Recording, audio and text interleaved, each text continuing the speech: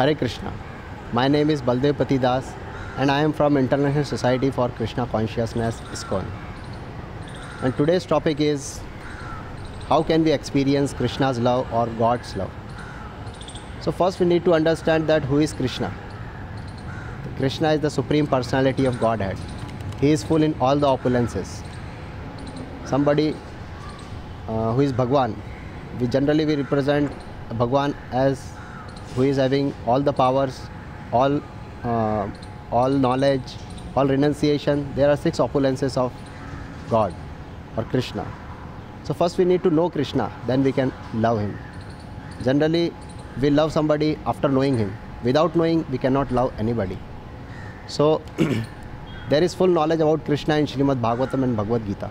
Krishna says in Bhagavad Gita that Mattah partaram nanyat kinchid asti dhananjaya that nobody is superior to him, superior to him, and he is the well-wishing friend of everybody.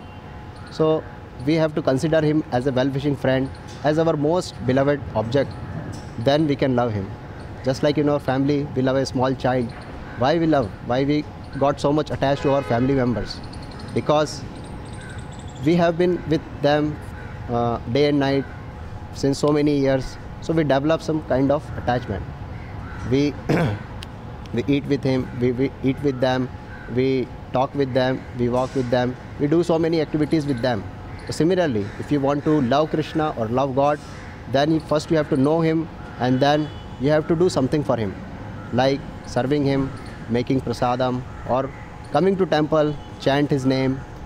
So you can develop a taste to love him. So in that way, if you do this process, the best process is chanting the Hare Krishna Mahamantra. So if you chant Hare Krishna Mahamantra, then this process is uh, so nice that it will automatically uh, take you the platform where you can love Krishna or love God.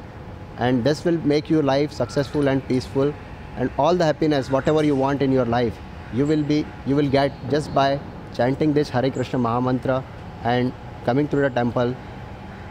Hare Krishna.